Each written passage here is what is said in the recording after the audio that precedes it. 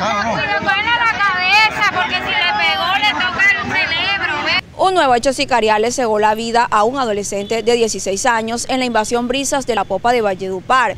Es de mencionar que en el mismo hecho otro menor resultó lesionado. El hecho se registró a las 5 de la tarde de este lunes aproximadamente en la manzana 16 de la invasión Brisas de la Popa de Valledupar. Según las versiones de las autoridades, los adolescentes se encontraban en vía pública cuando fueron abordados por dos sujetos quienes dispararon indiscriminadamente y huyeron del lugar. En el hecho murió el adolescente de 16 años, conocido con el apodo de Calilla, quien tras recibir dos impactos con arma de fuego en la espalda, fue trasladado al hospital de la Nevada en donde falleció cuando los galenos le realizaban reanimación. Entre tanto, el otro menor de 15 años resultó con una lesión en su pierna derecha y se encuentra en recuperación en un centro médico de la ciudad. Los móviles y autores del crimen están siendo investigados por las autoridades. Con este hecho, en Valledupar se han reportado 93 homicidios este año, cifra que ponen alerta a las autoridades municipales y departamentales por el alto índice de criminalidad que se registra en la jurisdicción, en comparación al año anterior que cerró con 98 muertes violentas.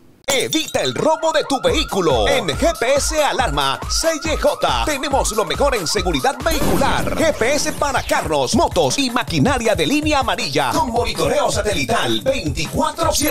Alarmas con sensor de proximidad.